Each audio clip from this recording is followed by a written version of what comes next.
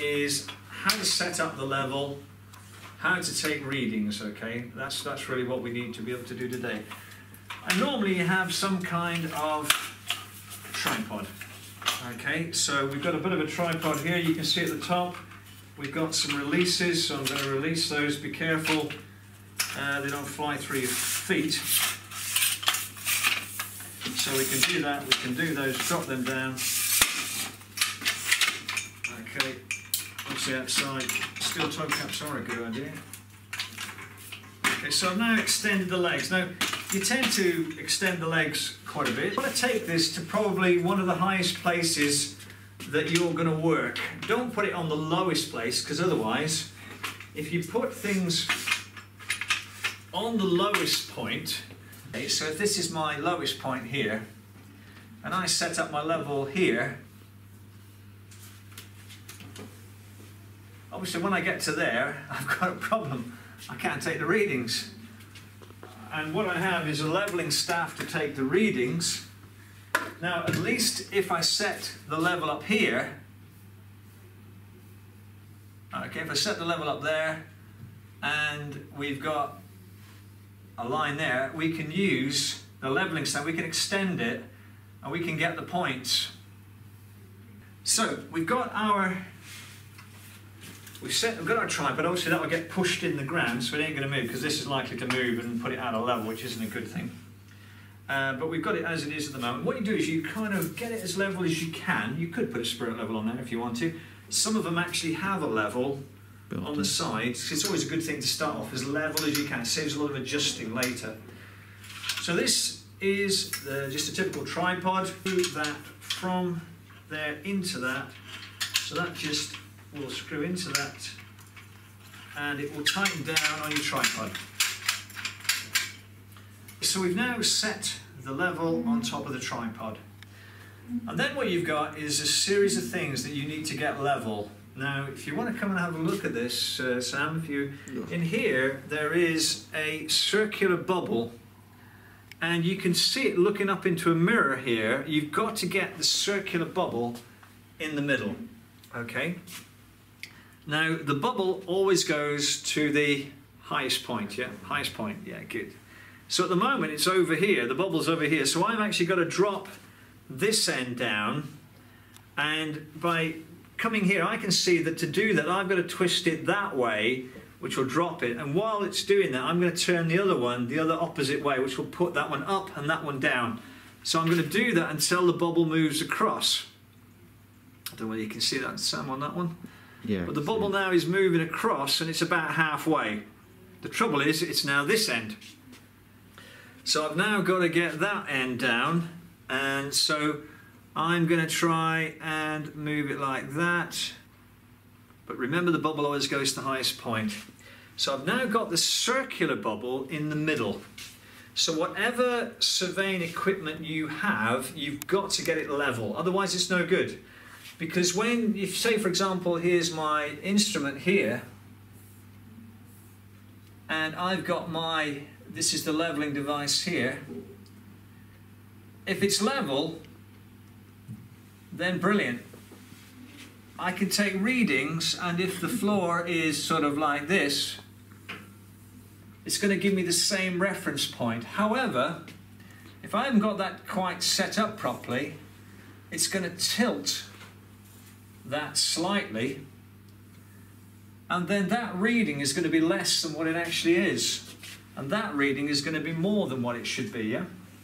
So it's very important we get that level. So you've got to get that right first. So that's the first thing. So we've got the tripod, we've got it level. Then the next thing, we've got a couple of adjustments.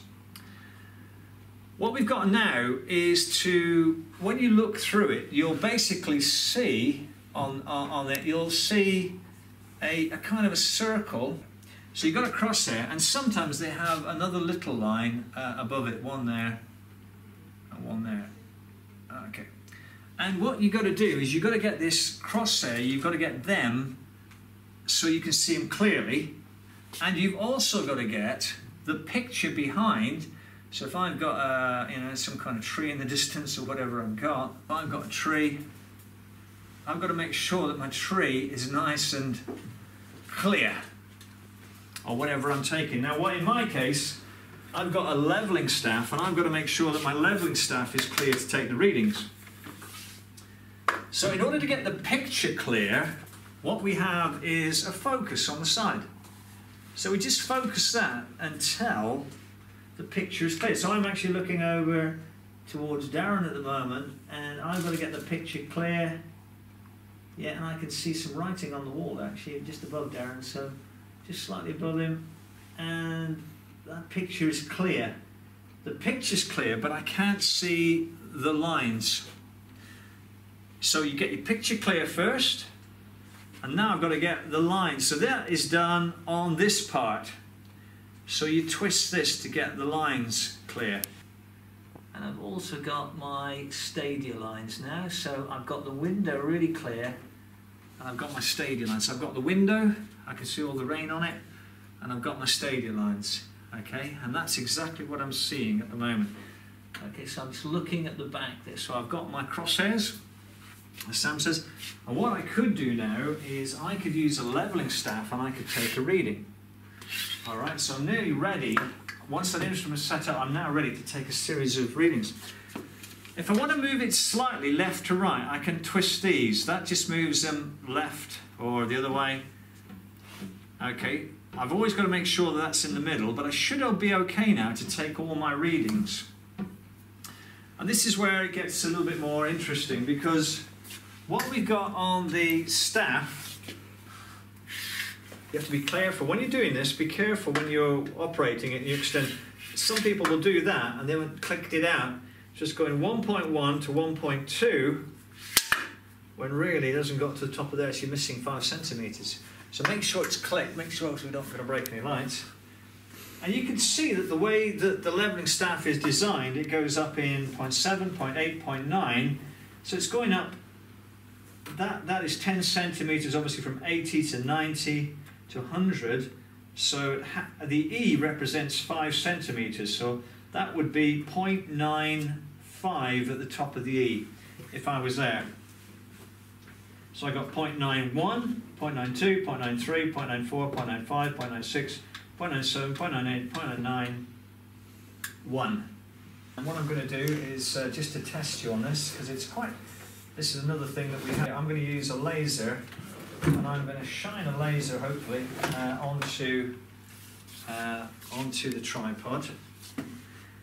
The laser, again, we do exactly the same. We're going to switch it on. Okay, you can see it's it's sort of uh, spinning around a little bit. Hope that's not in anybody's eyes there. And this one's got little marks. You can see how the red's gone to that side, and it's saying you've got to turn it this way. There's like a little arrow. I've got to turn that one that way, and I've got to turn that one that way. And when it go, when they change colour, this also is put on a tripod, incidentally. See now that we've got them. It's level now. They're on the amber. They're on, on that setting.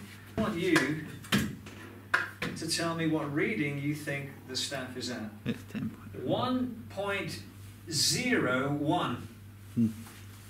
Can you see that the, the, the bottom of the red, it's got 1.0? So you've got 1.01. Can, you, can everybody see that? Right. Yeah? 1.01. Let's do another one. We got there then, write down that one, 20. But you would be correct in saying 1.1, 5, 6, 7, 8, 9, 8, 1.9, 1.198. Okay, it's complicated. Now, in terms of horticulture, because we're on a grassy area on top of a molehill or whatever, you're not going to, you know, you're probably going to round it up.